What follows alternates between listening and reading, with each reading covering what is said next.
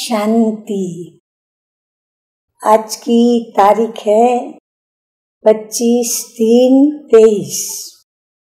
और आज की ज्ञान मुरली का शीर्षक है, मीठे मीठे बाप दादा कहते हैं, मीठे बच्चे, ये वंडरफुल पाठशाला है, जहाँ तुम्हें ज्ञान सागर पतित पावन बाप ज्ञान अमृत पिलाकर पावन बनाते हैं और ऐसी पाठशाला और कोई होती नहीं। प्रश्न है, बाप के कौन सी एक राय स्वीकार करो तो बाप हर पल तुम्हारा मददगार है। उत्तर है, बाबा राय देते कि बच्चे, तुम जिन के मुआफिक, मुझे याद करो।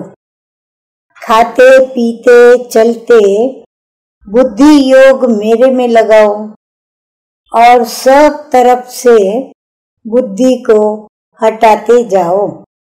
तुम बाप और स्वर्ग को याद करने की सेवा करो, यही तुम्हारी मदद है। ये याद ही तुम्हें स्वर्ग का मालिक बनाएगी। यही सस्ता सौदा है।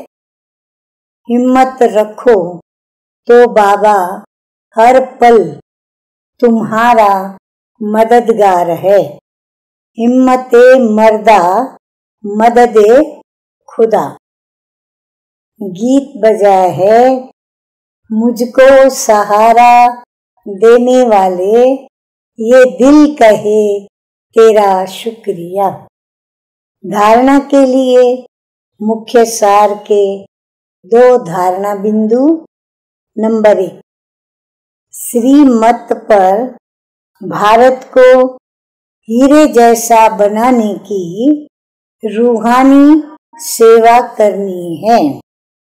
गुप्त रीति से बाप को याद कर श्रेष्ठ बनना है। नंबर दो, अपने आप से बातें करनी है। रू रिहान करना है कि बाबा, आपने जो सुख दिया है, वो और कोई भी दे नहीं सकता। बाबा, आपकी पढ़ाई से हम विश्व का मालिक बनते हैं। आप नई सृष्टि रचते हो, उसके हम हकदार हैं। वरदान सतगुरु शिव परम पिता परमात्मा का कि भ्रकुटी की कुटिया में बैठ अंतर्मुखता का रस लेने वाले सच्चे तपस्वी मूर्त भव।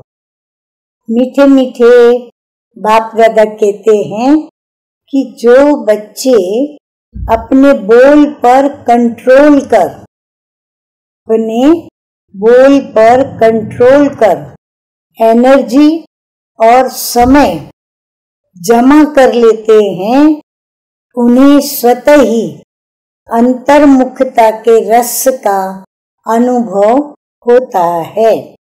अंतर्मुखता का रस और बोल चाल का रस। इसमें रात दिन का अंतर है। अंतर्मुखी सदा भ्रुकुटी की कुटिया में तपस्वी मूर्त का अनुभव करता है। वो व्यर्थ संकल्पों से मन का मौन और व्यर्थ बोल से मुख का मौन रखता है।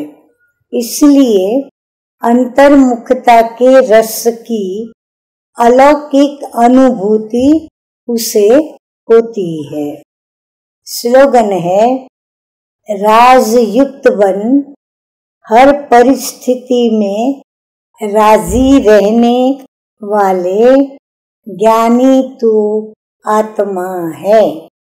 अच्छा मीठे मीठे सिकिल दे बच्चों प्रति माता पिता बाप दादा का याद प्यार और गुड मॉर्निंग। रूहानी बाप की रूहानी बच्चों को नमस्ते। हम रूहानी बच्चों की रूहानी बाप दादा को याद प्यार, गुड मॉर्निंग और नमस्ते नमस्ते। ओम शांति।